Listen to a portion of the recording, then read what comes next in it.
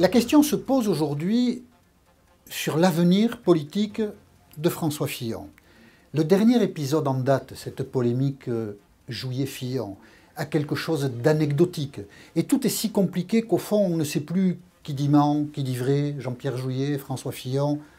Très difficile de départager. Mais cet épisode survient à un mauvais moment pour François Fillon. Il a d'abord été amoindri par son conflit avec Jean-François Copé. Il a ensuite perdu beaucoup de crédit au sein de la droite pour avoir attaqué dans des conditions qui n'étaient pas très bonnes, pas très compréhensibles, Nicolas Sarkozy, dont il a été Premier ministre pendant cinq ans, ce qu'il a paru après coup regretter. Mais après tout, personne n'était obligé de faire cinq ans à Matignon.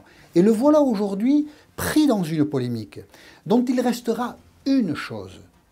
Hélas, si c'est injuste pour François Fillon, c'est le sentiment qu'il en a appelé au camp adverse pour régler un problème au sein de l'UMP et qu'il a souhaité se débarrasser de Nicolas Sarkozy par des moyens que la morale peut réprouver. C'est ce qui va rester dans la tête de beaucoup d'électeurs de droite qui pouvaient faire confiance en François Fillon, mais qui du coup se trouvent là mal en point, déséquilibrés par cette polémique dont il restera évidemment quelque chose.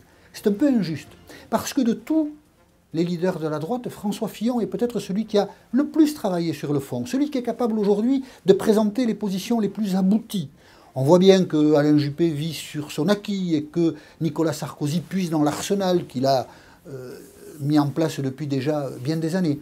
François Fillon a essayé de se renouveler, d'approfondir, de proposer quelque chose de cohérent. Et le voilà perturbé assez violemment par des éléments qui font douter de sa loyauté, de sa sincérité. Et ça, surtout en période de crise politique, pour un homme public, c'est dévastateur. Et François Fillon, aujourd'hui, est pris dans cette tourmente au point que l'on peut se demander, même si personne ne meurt jamais définitivement en politique, si ses chances pour 2017 ne sont pas déjà gravement obérées.